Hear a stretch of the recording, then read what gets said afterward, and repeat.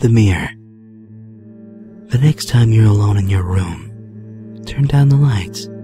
Think of something on your body that varies in length, such as hair. It must be clearly viewable from your perspective.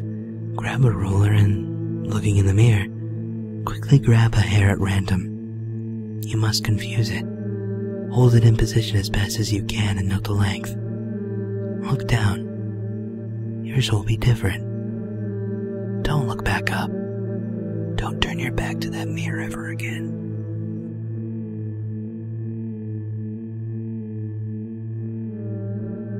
The closet.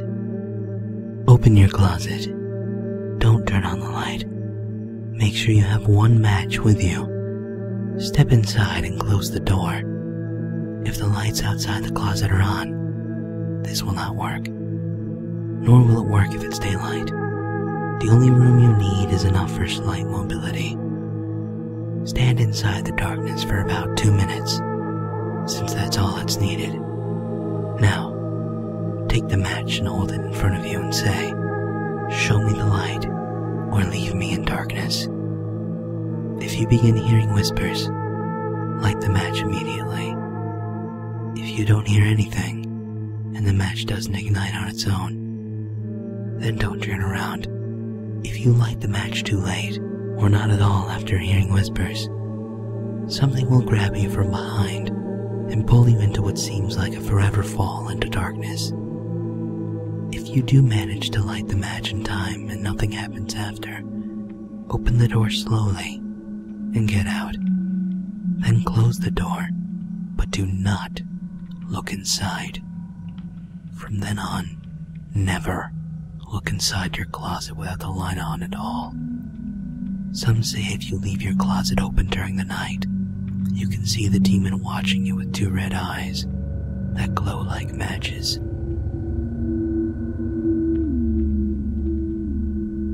Messages. It's early in the morning. The sun will be up for another couple of hours. You're fast asleep in bed, lost in a dream. When the phone rings, rather than waking up, you roll over and cover your head with a pillow. Hours pass. The sun rises.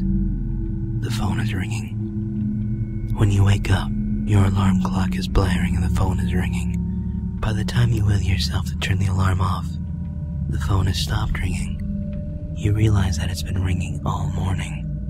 You slide out of bed and press the blinking red button on your phone as you slide into the bathroom. The phone beeps, followed by the friendly, electronic voice.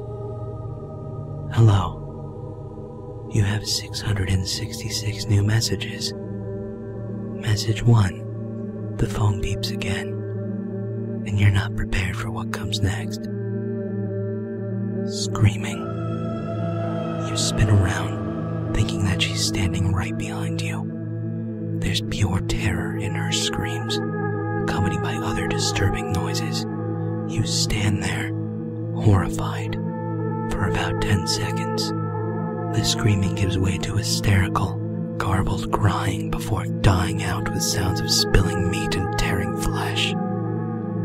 The phone beeps again. You're shaking. Message 2. Angel.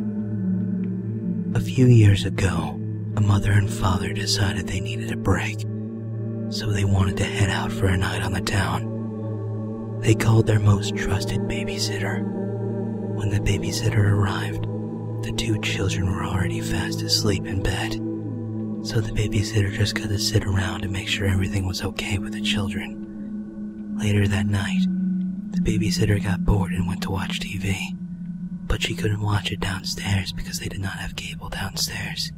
The parents didn't want children watching too much garbage. So, she called them and asked them if she could watch cable in the parents' room. Of course, the parents said it was okay, but the babysitter had one final request. She asked if she could cover up the angel statue outside the bedroom window with a blanket or cloth. At the very least, close the blinds because it made her nervous. The phone line was silent for a moment.